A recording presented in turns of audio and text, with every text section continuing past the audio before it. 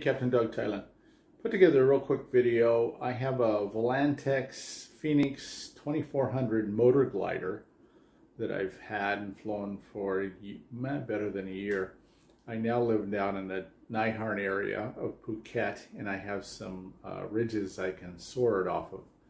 So I went and flew it uh, a few times and in heavy winds I couldn't get it to come down gracefully. I ended up doing a run into the bushes, uh, even with full flaps. So I just, you know, I'm like, gosh, you got to put spoilers or air brakes, they might be called, uh, on this glider to get it to descend. So I didn't see anybody else doing one on, on YouTube, so um, I went through some kind of design ideas, looked and got some ideas uh, off the internet, and I'll share those in this video. And uh, it went together fairly quickly, and I've got several videos and some still photos showing that.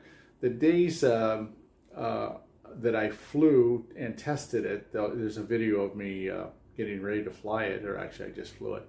Uh, but my photographer wasn't here to uh, document the actual descent rate improvement uh, with the spoilers and, and different um, varying amounts of spoiler. So I don't really have that footage. I've got some footage of general flying there at the site so you get an idea of the site. But it was a real, it was an enjoyable thing to do. It wasn't that difficult uh, share these ideas with you guys, so maybe it'll save you some time. Uh, I kept mine really simple, KISS. I just wanted to not, not even get into a bunch of linkages, linkages and, and things. This is a foamy glider, motor glider. And um, enjoy it. Hope it, hope it helps somebody. If you like it, like it, uh, comment, and subscribe. Thanks.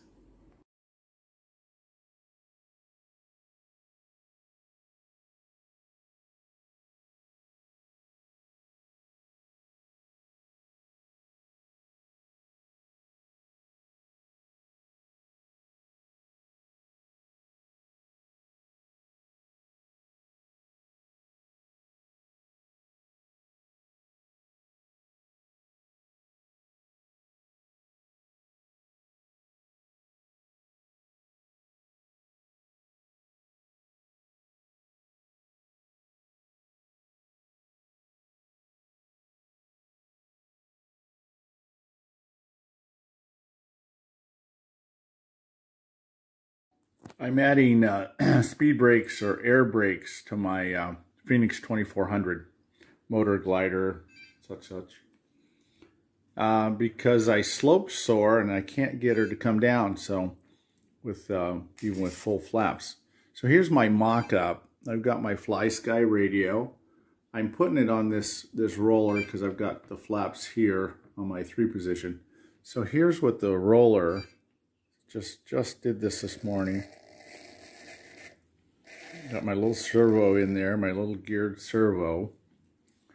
Um, I just used a piece of foam to simulate the wing, so I made my cutout, as I'm sure most of you are familiar with. We installed some servos, flaps or whatnot. And then I've got that arm that lifts up and pushes up on on the uh, what's going to be an air brake. That's just a demo plastic. I'll go with uh, balsa.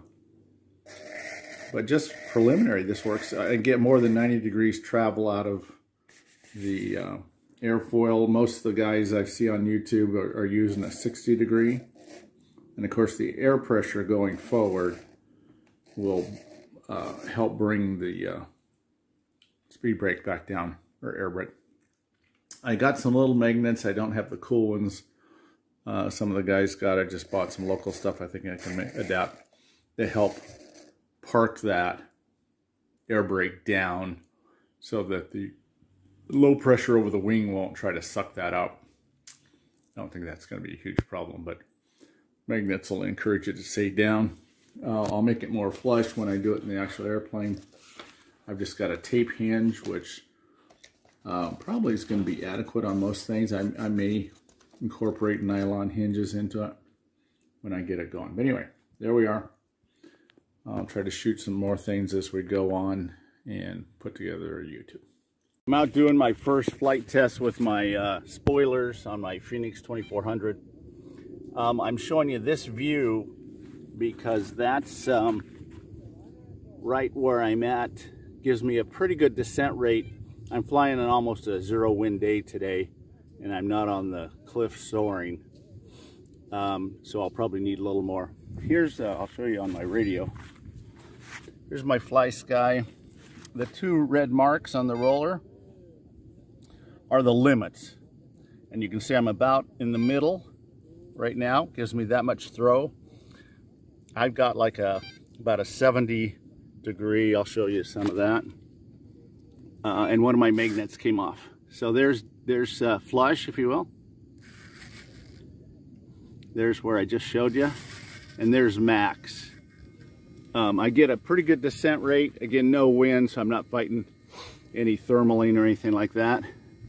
I've marked my marked my uh, red marks so that my um, servos don't sit there and buzz. That's not good for them. So again, and one of my magnets came off this morning. See how that drops down, gives a little bit of weight, and it just holds it. Uh, everybody on YouTube's doing that. I put actual hinges like you would for a rudder or something. Nylon hinges, fairly big, just two of them there.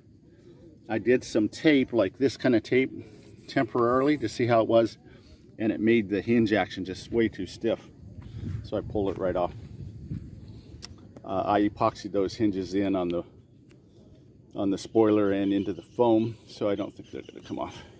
Okay, so we'll fly it a little more and see how she does.